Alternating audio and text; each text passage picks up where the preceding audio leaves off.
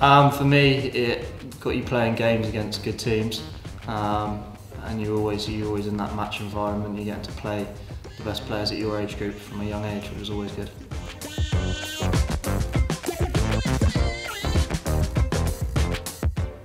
Probably, there's a few. I'll go with uh, in the showers. One of the lights got knocked down, and we stood there holding the, holding up in the shower, and the, and the coach came in, and he wasn't, he wasn't too happy.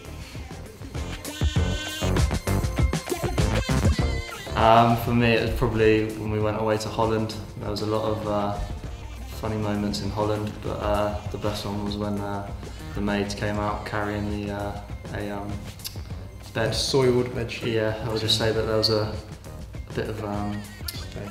yeah, there's a stain on that, to say that. That's quite funny.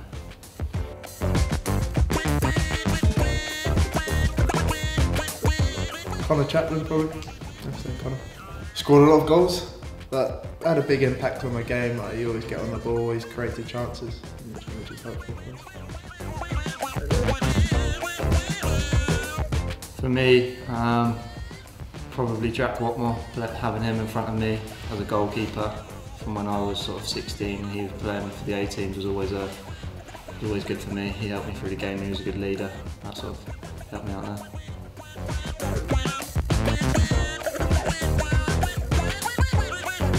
Probably just the whole experience going to Holland for the two weeks with all my, all friends. Yeah, that was the best, best moment.